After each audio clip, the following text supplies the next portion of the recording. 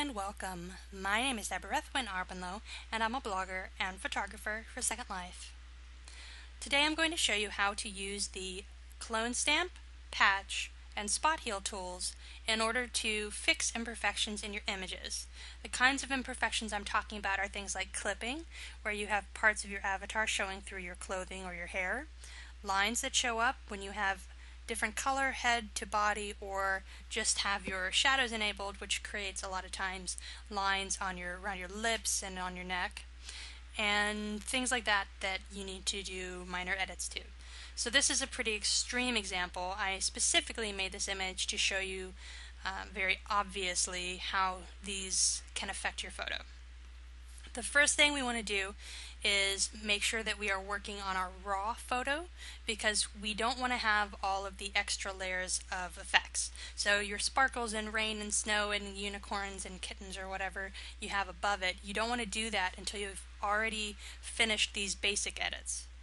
So we're going to start on the raw image. So we have our raw image here and I've created a new layer. So you can create your new layer by going down here, clicking create new layer. So I'm going to put all my edits on my new layer and not on my background layer. A lot of people don't even realize that you can do this. So what happens is on all of these options, so clone stamp here, under sample, all of these options allow you to select all layers, which means that any edits that I do on this blank layer will draw from my main layer so I can edit my edits on another layer. So it's great because then I can erase parts that don't work. If I clone stamp too much and I want to erase part of it, I don't have to affect my background at all. So it's a really important thing to do to separate your edits so that you don't end up having to start over if you mess up your background and you run out of history. So we want to go to our clone stamp tool and we want to select sample, all layers. Same thing in any of the other ones. So patch, this is patch up here, patch tool. And then we want to sample all layers. Spot healing brush, sample all layers. So all of these functions we want to select sample all layers. So now we can go into the actual editing part. Now the clone stamp tool is literally a copy paste tool. It is best to use when you are talking about um, edges of the area. So here I have an edge that has uh, clippage. So a clone stamp tool would be perfect for this because it just copy and pastes. By contrast, the uh, spot healing and patch tools maintain the tone and texture of your image while uh, copying the sample that you take. So let me show you what I mean by that. So let's say we wanted to use the patch tool. Like I said, copies your tone and texture. But what happens when you have an edge, like here, I have an edge of skin. So what happens when you have an edge, so I'm selecting with my patch tool an area, and then here it pulls up my patch tool and I can click and hold it and drag it down to an area I want to select. So I have an edge here. So what happens is it doesn't know what parts to maintain. It doesn't know what texture and tone to maintain because there's more than one. So patch tools work best when you are not working on edges because they tend to take the wrong colors or blur them and that's not what you want on your edges. Because the clone stamp tool is a literal copy paste, it's the best option for your edges and then you can go and clean up anything you don't like about it afterwards. So on our new layer, we're going to go to clone stamp. We're going to have our opacity at 100% and we're going to keep our hardness pretty high. I'm going to even put it at 100 just on the edge because I don't want to have any blurry areas. So normally we work with our clone stamp at a reduced um, hardness, so 0 to 50% hardness in the areas where you have skin, um, or you're inside of the photo. But near edges, because you want to have a hard edge, you want to have your hardness up high. So I'm going to put it at just 100% for this small section. So here I want to increase my brush size a little and then I'm going to select an area that is does not have clipping. that's nearby and pretty much lines up with this area that I want to cover. So here I'm going to hold Alt and it pulls up these crosshairs which I can then click over an area that I want to copy. So here I'm going to click it, it has selected that area. Now I can go over to this area and line it up and just go across this area that I want to cover until it's done. So now I've covered this area. And if it's not perfect, like this isn't quite lined up, because I have a layer that I've edited on instead of doing it on the background layer, I can actually edit my edit and change it slightly to make it work where I want it to work. And I didn't really need to edit this one, but if I wanted to, I could edit it. Line it up how I want. This works especially when you have um, areas that are sort of at an angle because it's kind of hard to match it. So now that area is totally cleaned up. It's gone, can't see it. Okay, so that is clone stamping. Now in other areas where we have multiple tones, like skin and um, clothing materials where you don't want to copy and paste flat. You want to use tools like the patch tool. The patch tool maintains, as I mentioned before, maintains the tone and texture of the area that you're trying to cover while copying the background part from another area. So if you have a picture where you have shadow on your face and you want to maintain the tone of the shadow, but you need to get rid of like a stray hair, you can surround that area. So let me show you in this section. So I have my patch tool selected, I have sample all layers selected, and I've selected content aware, and my adaptation is very strict. So what I want to do is I want to circle around this, and I'm going to keep a nice halo size around here. So I don't want to be too close to my coverage area because I don't want it to try and sample from the peachy skin tone. I want it to only sample the edge. So it kind of looks like I've left uh, a good margin around the side. So now I'm going to pull this up. I'm going to click and pull. So I have the patch tool shows up here. Click it and hold it. And then I'm going to drag it up until that uh, hole is gone from the center. So you can see here that it looks like it's just going to copy it, right? So my original had um, some lighter tones in the bottom. So down here, this has some lighter tones. And then this is darker tones. And I'm dragging it up into only darker tones, so it looks like it's not going to match. But because it copies the tone and texture, it will copy that gradient uh, brown leather effect that I have at the bottom. So if you see here, it copied my gradient effect. So it makes it more seamless because it copies that tone and texture instead of just copy and pasting a different section. Because if I had copied and pasted it, so let's go back here, take our clone stamp tool. If I just copy and pasted an area, Alt, copy and paste. See, it just makes this hard dark line. So the benefit of using the patch tool instead is that it maintains those tones that you want to preserve. So I select it, drag it up until I get rid of the circle, don't go too near lines, let it go, maintains the tone and texture. So same thing down here, leave a nice circle, find an area that I want to drag it to, maintain it, maintains tone and texture, and covers the area. So for larger areas especially, you're going to want to use the patch tool. And if you have too much lines in the area, you may find that you run into problems with blurring. But if you keep enough of a um, halo around it, if you keep enough margin, you can prevent a lot of that from happening. So we'll try and find an area that I like the texture. Didn't work perfectly. Let's pull from over here, because this is pretty similar. So mostly seamless. You may have to clean up your edges just slightly, but for the most part, this looks pretty natural. So we're keeping a large margin on our patch tool, dragging it over to an area that we like.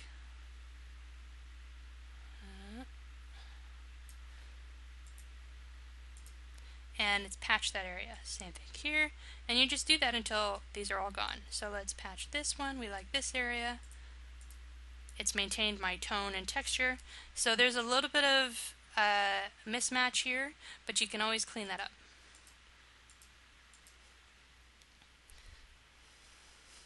And that looks pretty good too, especially when we're zoomed out. Okay, so now we'll go over here. We'll do the same thing. We want to fix this with the patch tool. Keep a nice wide margin. We'll go down here.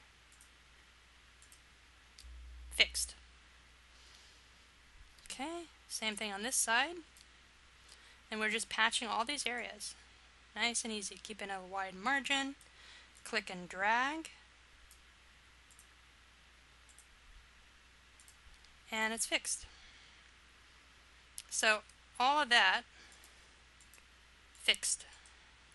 And then down here, now here is a problem area because we have a hard line and then this area. So it's going to be difficult for us to do this um, using the patch tool because you're right next to a line. So let me show you what happens with the patch tool in this area. So we kept our wide margin and now it's basically a 50-50 crapshoot if it's going to work or not. So we'll drag it up to an area that we like and we'll try and make it match if we can. It's not really going to match.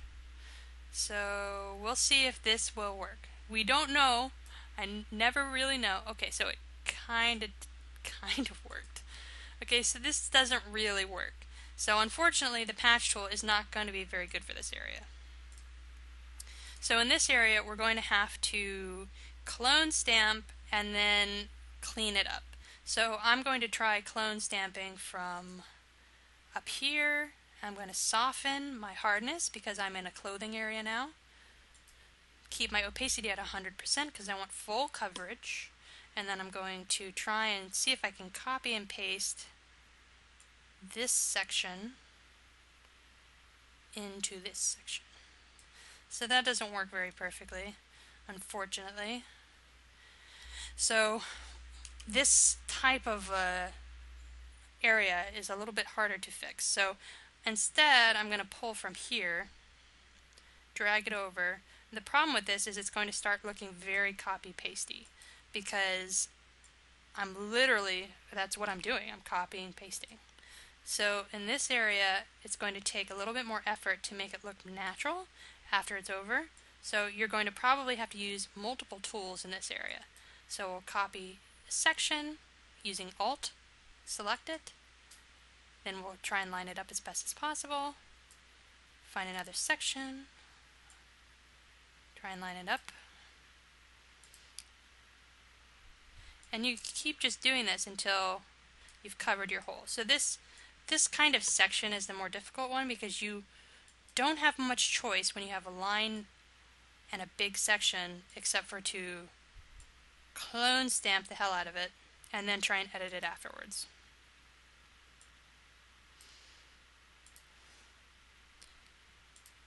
So you can already see that I have a lot of copy looking areas here.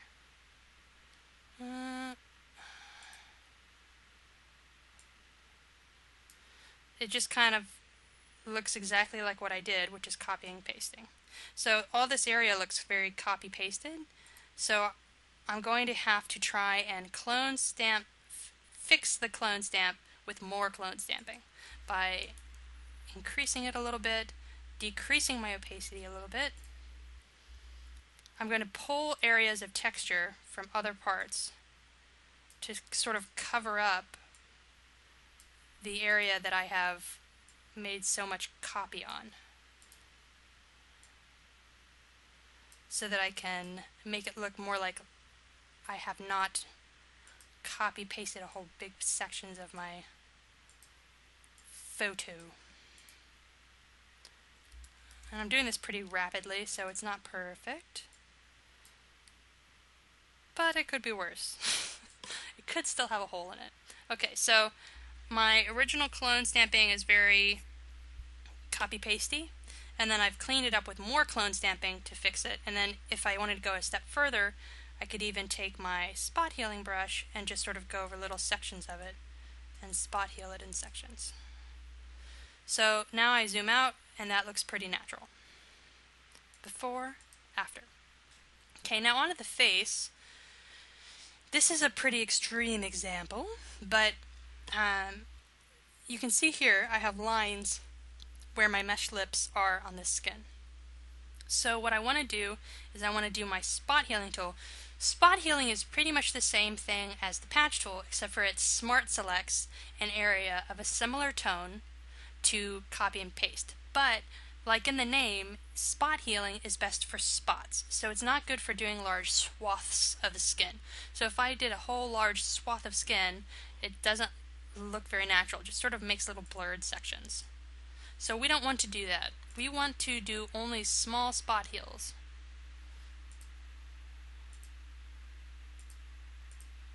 Okay. Spot healing we want to do in small sections. So here I've got all of this like granulated line. So I'm going to do little spot healings. Oh, that didn't turn out very good.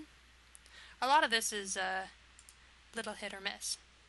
So I'm going to spot heal these sections and it's going to pull sections from other areas. Now I'm just doing really small little areas to clean up the line. It's not an obvious line, so it's not as it's not in as much danger from um, having the weird blurred effect.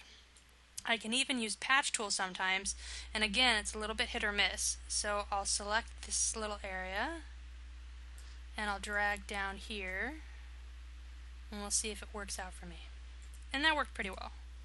So it got rid of that hard line. There's a little bit of a hard line, but it's not a huge, it's not a very obvious distinct line, so it matched the tone pretty well. And you continue to do a little bit of patch healing, a little bit of spot healing around these areas. Just try and make sure that you don't choose spot healing um, for large areas. Now, this discoloration is a little bit too big for me to use the um, patch and spot healing tool because it's so near another tone and texture. So instead, I'm going to have to go back to my clone stamp. Oh, that's not clone stamp. I have to go back to my clone stamp and select a color I like. I'm going to maintain having soft a soft brush, 0 to 50% hardness, mostly lower than 50%. I'll maintain a lower opacity, so maybe around 20. Then I'll select a color I like, and I'll go over the discoloration. You just have to make sure that you are continually selecting your um, color. So let's say I like this color, right? And that's cool. I can go over it, but if I go too far, I start selecting my lips. So I want to pull that brush over, but then I'm selecting my lip, right? So you're going to continually be Alt, click, sample, Alt, click, sample. It's a little bit tedious, but you end up with a better finish. So we'll probably want to use clone stamp to fix this line here, this shadow line, because if we use patch tool, it's just going to blur it because there's two tones and textures. Patch tool, because of the multiple tone and texture, is probably going to not look so natural. Also, I don't have a lot of room to sample from. So see, it's just kind of blurred it. Didn't really it didn't really work out. So that line was a little too distinct. So instead, we're going to clone stamp, Alt, oh, I keep selecting the wrong thing. Losing my mind. Alt click a sample, and then with a lower opacity, we'll just slowly start blending that line until it's not obvious. I like to select the area closest to it, so I'll Alt click right above the area, then go down, and it's blending it in because my opacity is set pretty low. Blend, alt click, move over, blending it in, and you end up having to clean up some of the work that you do, but by large, it works pretty well. And we don't want to have the opacity set too high because we don't want to just copy and paste blanket tones over the whole image. So instead, we'll, oop, too much, alt click, clean it up, alt click, clean it up with a low opacity. We're selecting and cleaning, selecting and cleaning. And if we go too far, we could always erase it because we're on a new layer. Okay, so we've cleaned this up pretty well. It's not perfect because I don't want to keep you here forever, but it looks pretty good comparatively. And then down here, and this is a very extreme example, but very similar concept. So I could use my patch tool in this area, but it's only going to really work as a um, making it a little bit blurrier, so it will help me get rid of the hard line, but it will not really mesh the colors. So I can select it,